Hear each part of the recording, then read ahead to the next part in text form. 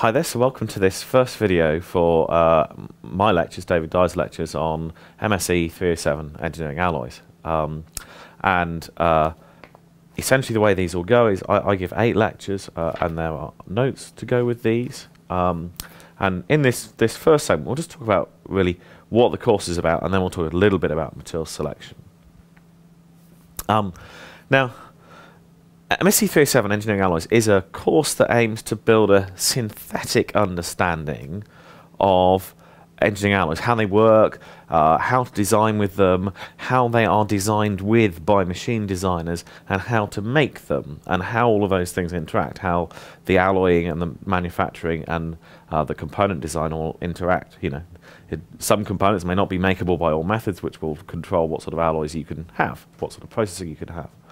Um, and so there's a lot of facts, but and Einstein said, um, I don't carry such information in my mind since it's readily available in books. You know, we now have the internet. Uh, almost all information is available to us now, if we can find it. Um, and he said, but the value of a college education isn't in the learning of many facts, but the training of the mind to think.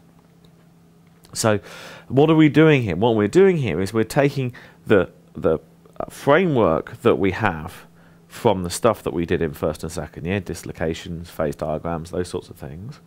Um, and we're putting on them the threads of how different alloy systems work to build up a tapestry of how alloying works, how uh, materials, how metals work.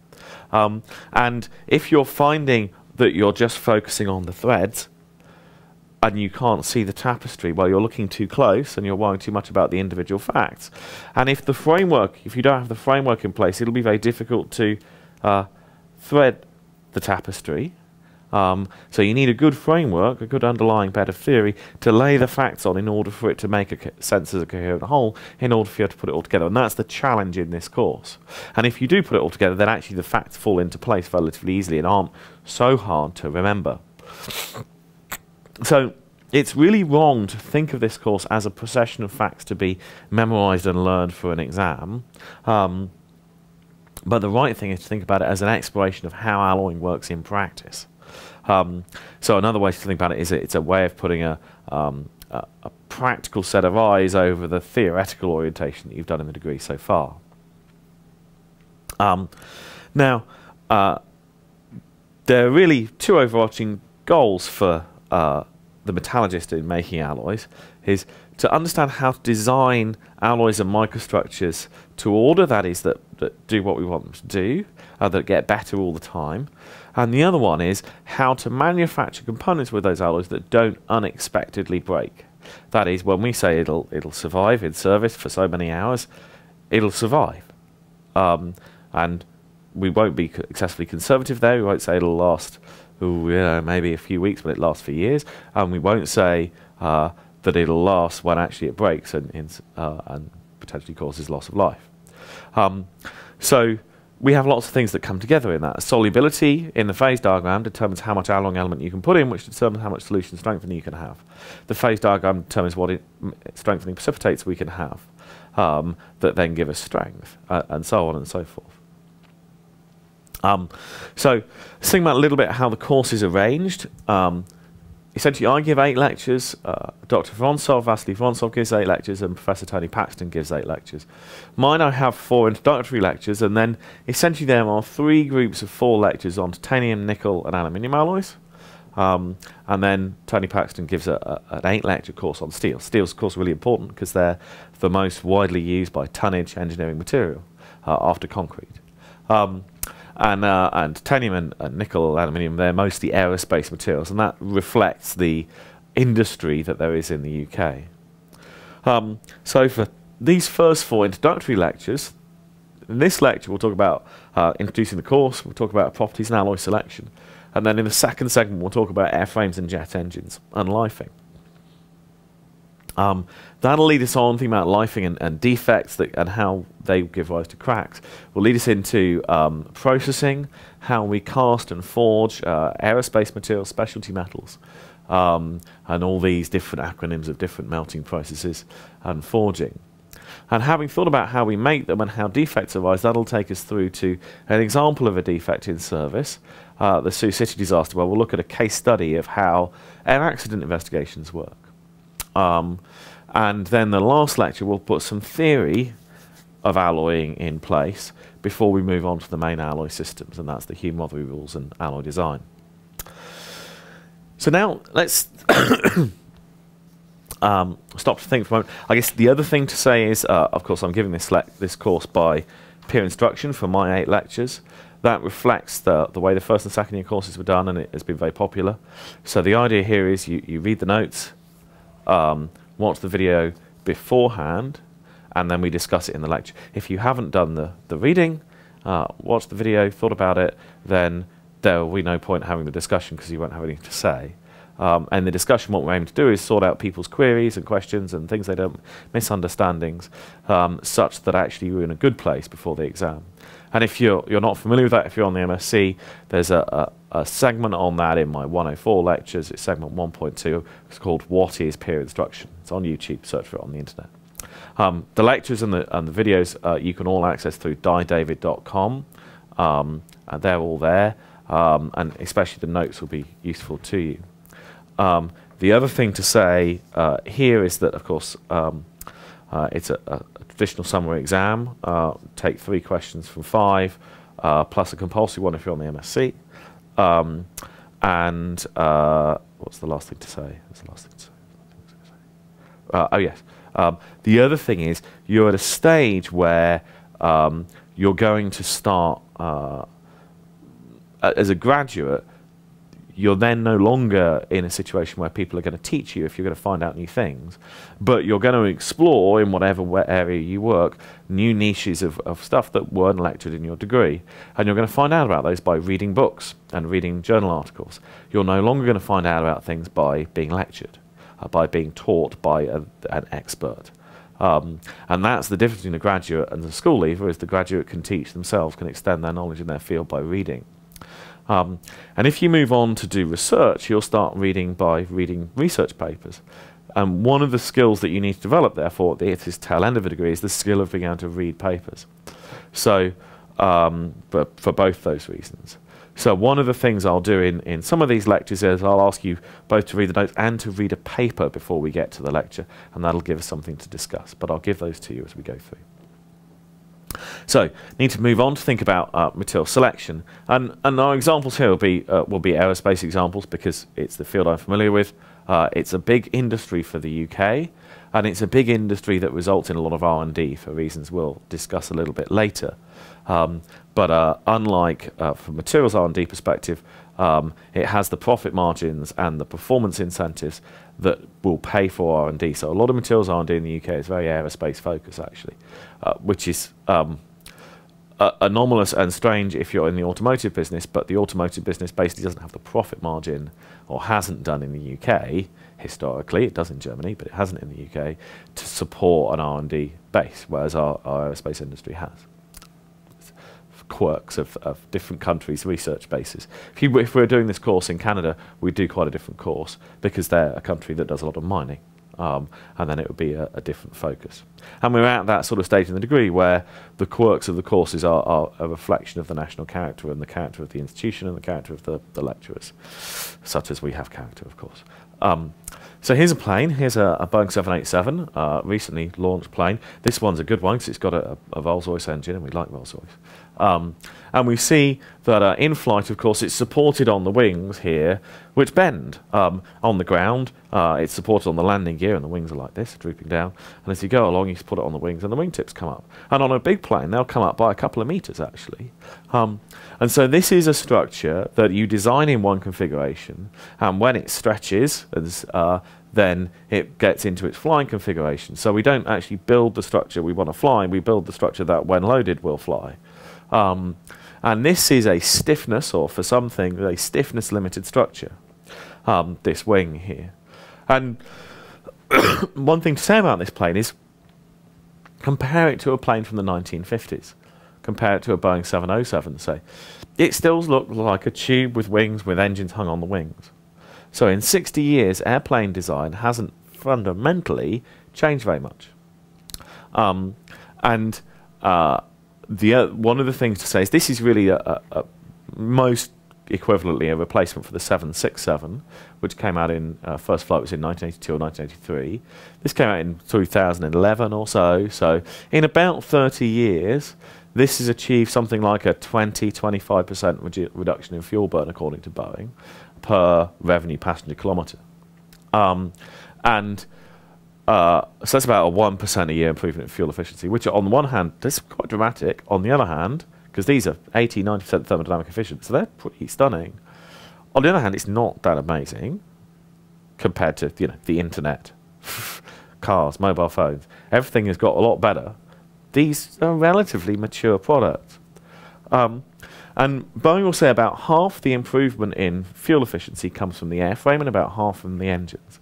And half the improvement in fuel efficiency for the airframe is down to reductions in weight to using better materials, largely carbon fibre and titanium replacing aluminium. Um, in the engine, Rolls-Royce and, uh, and GE, the two world's largest uh, large jet engine manufacturers, um, they would say that, again, about half their improvement is from the materials. So overall, about half the improvement here is from the materials. Relatively little is from things in the aerodynamics, like you know the straight wing tips and so on here. Um, mostly, this is improvements uh, in uh, rather than in design in the materials that we're using, and that's one of the reasons why it's so slow. The other big change that's happened in the last 30 years in aviation, in at least in military aviation, is the advent of unmanned aerial vehicles. And um, 10, 15 years ago, when this sort of was starting, people were very excited that this might change things, that we wouldn't care so much about the uh, quality of the materials, for instance. We might let a few things fail and have these be cheaper. But it turns out the cost driver isn't given by really by the materials you know, the, the jet engine here, by the way, this engine costs about as much weight for weight as silver. Um, it's really extremely expensive. So is that because if we if we could use cheaper materials because we didn't mind because there wasn't a pilot in there, then uh, would we be uh, able to make these things cheaper such that the military could afford to buy them? You know, which is a serious problem for modern militaries. It turns out the answer is uh, not really, and there's two reasons. One is uh, if these are going to fly in civilian airspace, you can't afford to have them crash because of people on the ground.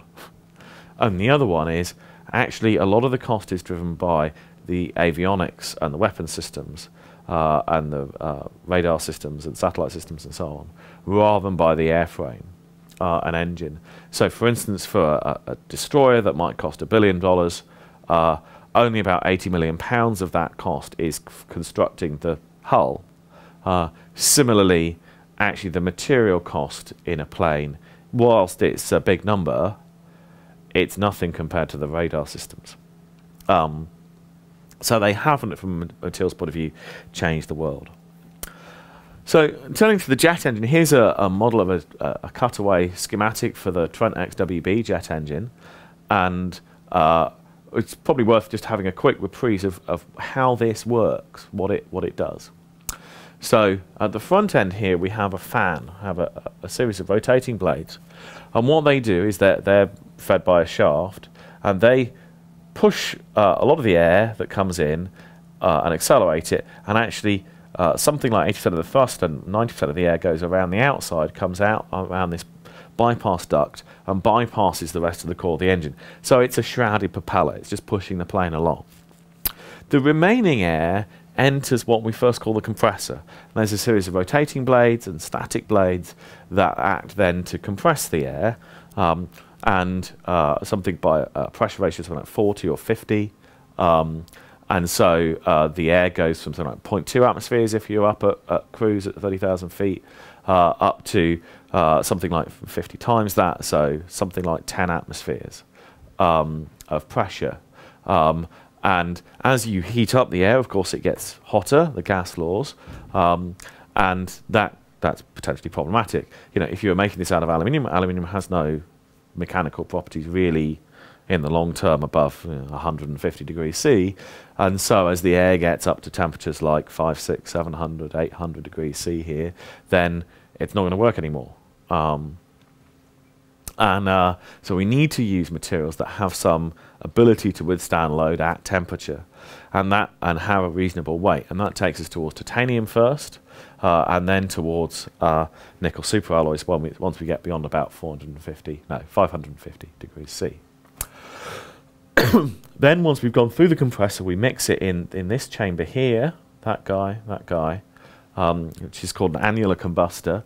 We, we blow some fuel in um, to that combustor, uh, mix it with the air, and ignite it and burn it. And of course, then it, the gas expands and it expands out through this turbine, uh, giving you a jet out the back. And the turbine extracts the energy to turn the compressor and turn the fan.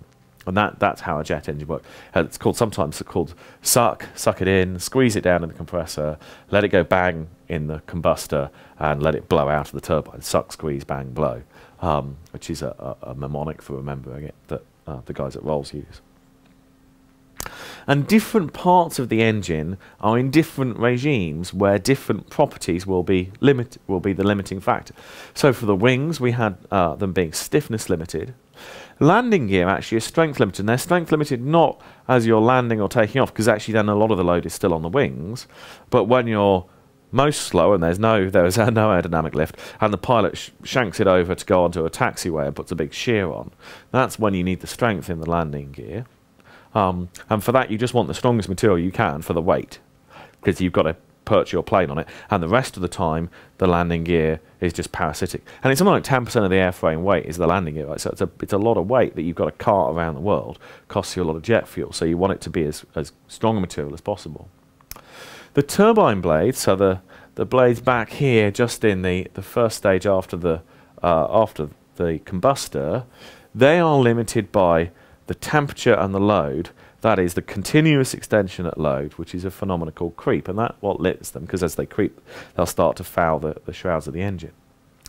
Um, on the other hand, if I go back to this fan blade here at the front, these have, um, you know, all like all structures, they'll have some resonant modes, and as you come up to speed, you'll go through some of those modes. You'll be at cruise, you won't be in them, you know, you'll design the engine so that doesn't happen, but um, uh, as you go accelerate up through, you'll put a few thousand HCF cycles in.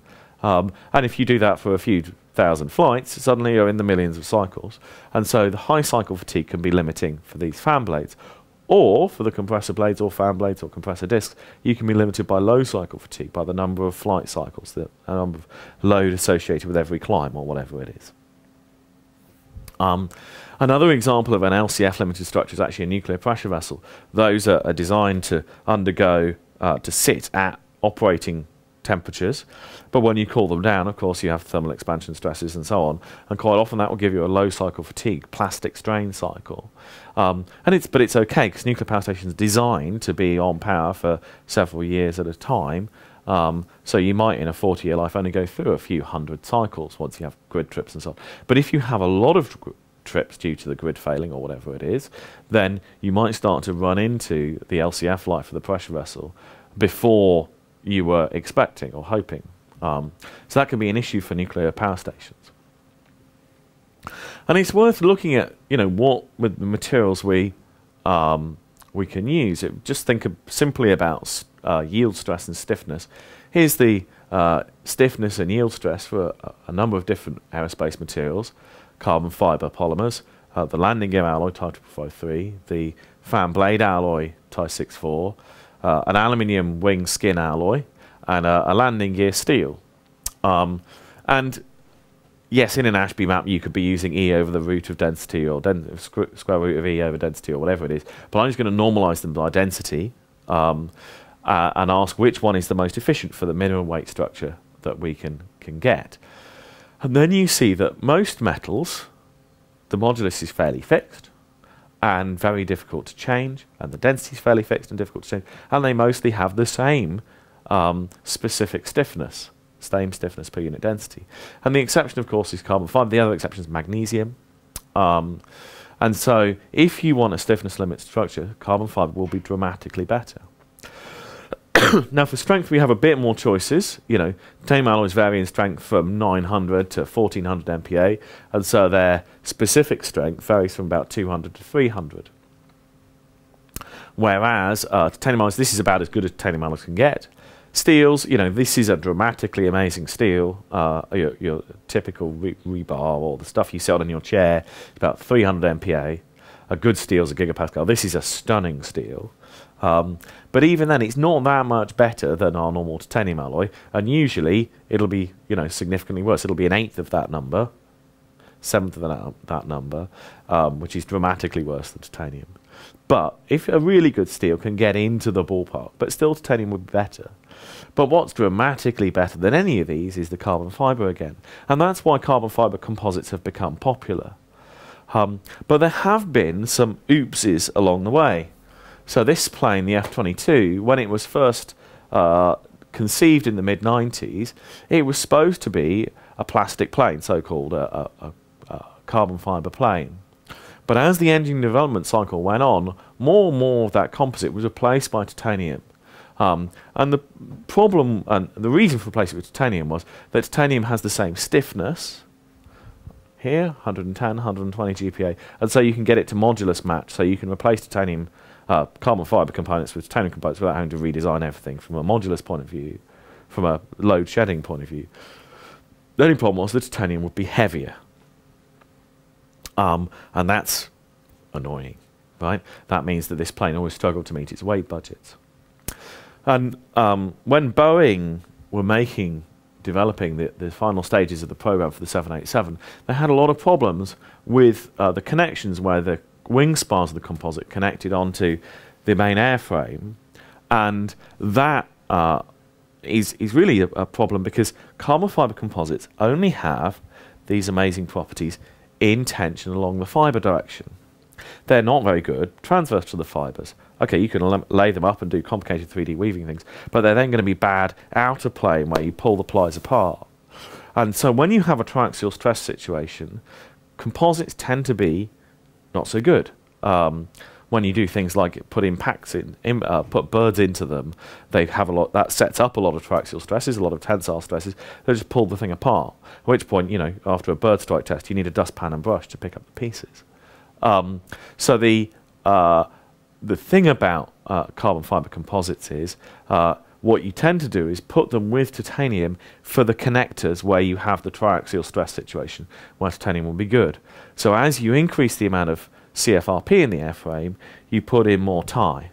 So this was an extreme example where we reverted a lot of the polymer composite into titanium. But even then, as you put in more composite, you tend to put in more tie. So the 787, the A350, incrementally, uh, passenger planes have more and more titanium in them. Um, and uh, composites have been a huge success, of course, but it has been accompanied by a lot of titanium. And the thing that's amazing about, we shouldn't really leave alloy selection without talking about this, uh, amazing about metals is their toughness. You know, uh, most ceramics have a toughness of about 1 megapascal root meter um, you know, in the range of 0.2 to 5. Um, even a, a, normal steel has a toughness of about 90 megapascals root meters. Um, and uh, that's a dramatic difference. That's a hundred times tougher because metals have plasticity. They can absorb energy by plastic deformation, which means that they can uh, blunt cracks um, and they can, uh, fatigue cracks will grow slowly they can be in a crash, and so they have ductility, toughness. Um, and that's why they're attractive. The great thing about a metal structure is you can bang into it with a, you know, baggage cart, and you just have to get a hammer and bang it back into shape. That's what your car mechanic does when you have a prang your car. With a composite structure, you can't do that. You have to replace it. And also, sometimes the damage, the cracks can be silent. They can be invisible. Um, and so you have a, a problem. And the other nice thing is we can quite often, quite late in the manufacturing sequence, tweak and optimize our, our tray between strength and toughness. So this is data for a bunch of beta titanium alloys. This is data for a bunch of aluminium copper alloys. And moreover, if we go for super clean aluminium, if we get rid of some of the iron and silicon that gives us the uh, silicide defects that uh, can initiate uh, cracks, then we can get a bump in, in toughness as well if we're willing to spend the money to make it super clean. So things we can do to make them tougher if we need them, or to make them stronger if we need them, quite late depending on how the, uh, the machine design is doing. So what's my point in this section? My point is that alloy selection is a lot more complicated than Ashby diagrams. We're looking for a balance of properties across corrosion resistance, density, strength, toughness, uh, creep resistance, environmental performance, that uh, and manufacturability, weldability, rather than just one or two parameters in an Ashby map. Um, and it's heavily connected to system design and to manufacturing, a very coupled set of problems. And so to have a mature appreciation of how to design with alloys, we need to, to treat Ashby diagrams as a nice tool, but they're the start of an understanding of how to select alloys, not an end. Um, and so uh, when we're thinking about, lots of us when we're lecturing we'll make different claims about different alloys over the course of this, uh, this lecture course, we need to weigh those uh, enthusiasms that we make, uh, those claims that we make, somewhat, and challenge us on them and ask us about them because it is complicated. There's a lot to come out there, and there's a lot of richness there if we let it speak to us. Uh, and that's it for this segment. I'll see you for the next one, which is on jet engines and lifing.